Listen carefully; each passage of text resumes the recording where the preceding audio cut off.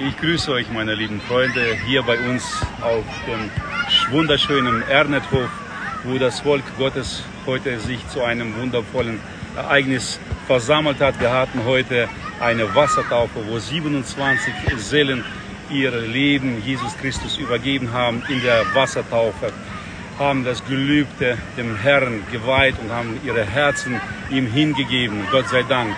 Von diesen 27 Personen waren es genau 10 Personen aus unserem Reha-Zentrum, in dem heute 60 Personen leben und sich rehabilitieren.